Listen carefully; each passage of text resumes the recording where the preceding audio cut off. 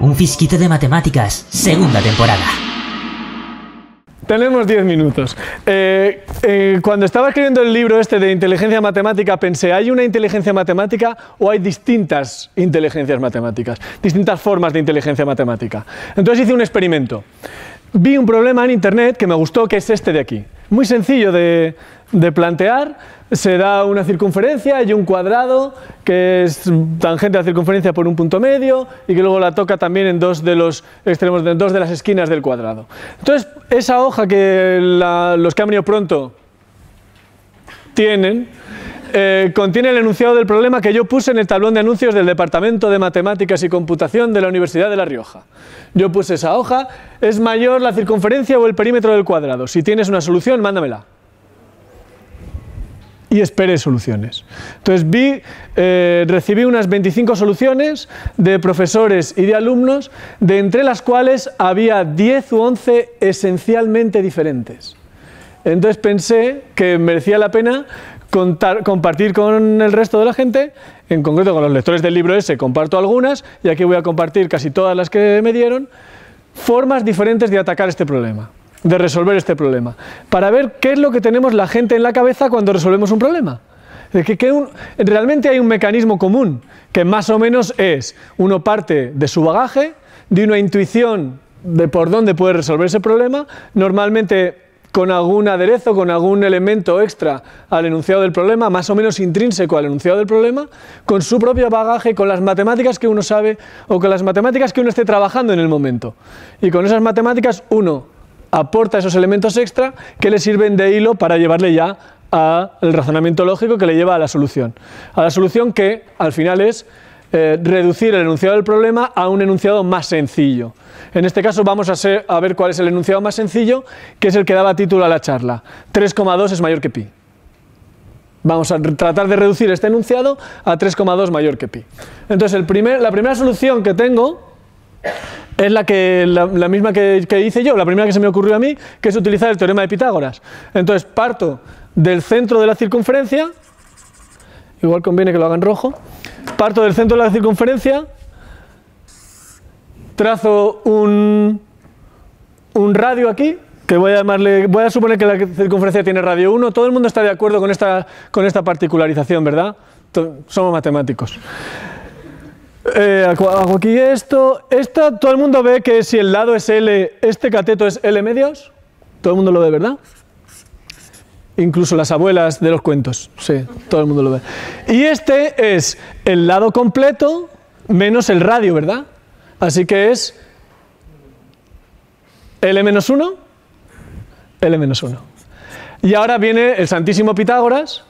Y el Santísimo Pitágoras nos dice que 1 al cuadrado, que es 1, en Logroño por lo menos, y bueno, más o menos en casi todos los sitios. 1 al cuadrado es L cuadrado partido por 4, o sea, L medios al cuadrado, más L menos 1 elevado al cuadrado.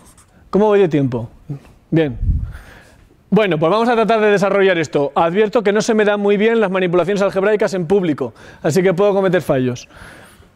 1 es igual a L cuadrado partido por 4 más L cuadrado menos 2L más 1, ¿sí? Vamos a quitarnos esto de aquí.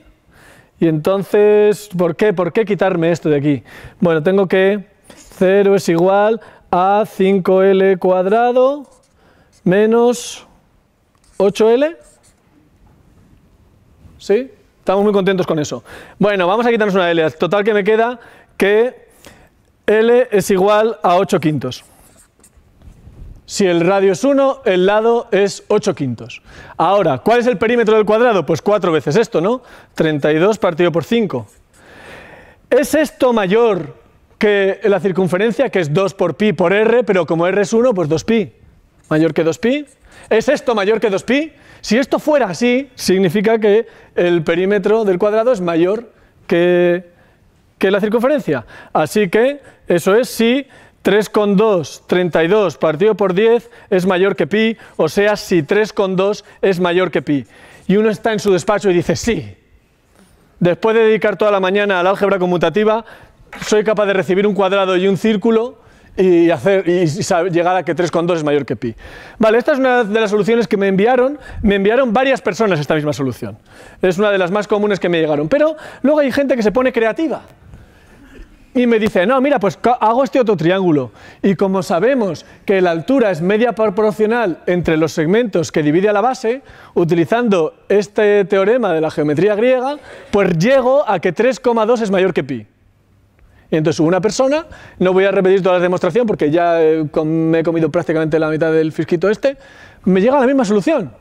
Y otra persona hace otras, otros triángulos y me llega que hay una semejanza de triángulos ahí, no es difícil demostrar que esos triángulos son semejantes y a través de la semejanza de triángulos llega a que 3,2 es mayor que pi y por tanto el, perímetro del cuadrado es mayor que la circunferencia.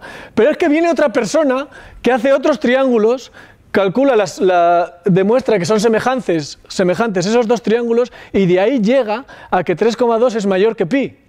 Jonante, o sea, es que la gente, depende de lo que uno tenga en la cabeza, veis que la gente tiene todavía la geometría griega metida en la cabeza y es maravilloso. Pero no todos tenemos la geometría griega metida en la cabeza de la misma forma, porque me viene una, una persona y me calcula eso con potencia de un punto respecto a un círculo. Entonces, calculando la potencia del punto A con respecto al círculo y del punto E' con respecto al círculo, calculando potencia es una demostración preciosa y muy intrínseca a la figura. Veis que aquí ahí no necesitamos semejanzas de triángulos, ahí hay mucho que discutir, no tenemos tiempo, pero hay mucho que discutir en cómo de natural es una, es una respuesta a una pregunta, cómo de, cómo de intrínseca es, cómo de elegante, etc. ¿no?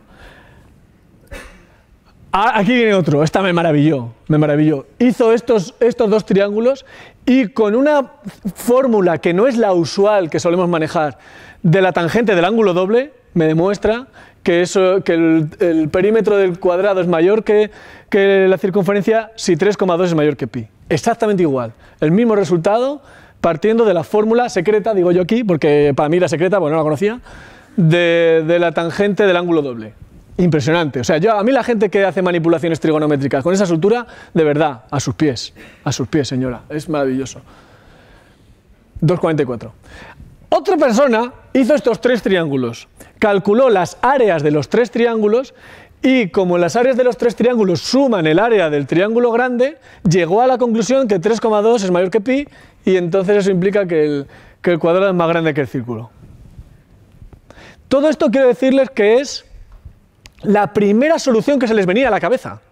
O sea, ellos no habían visto otras soluciones, sino que en lo que estaban trabajando, lo primero que se les vino a la cabeza es eso. O sea, yo lo del ángulo doble digo, pero ¿cómo tienes tú la cabeza, hombre?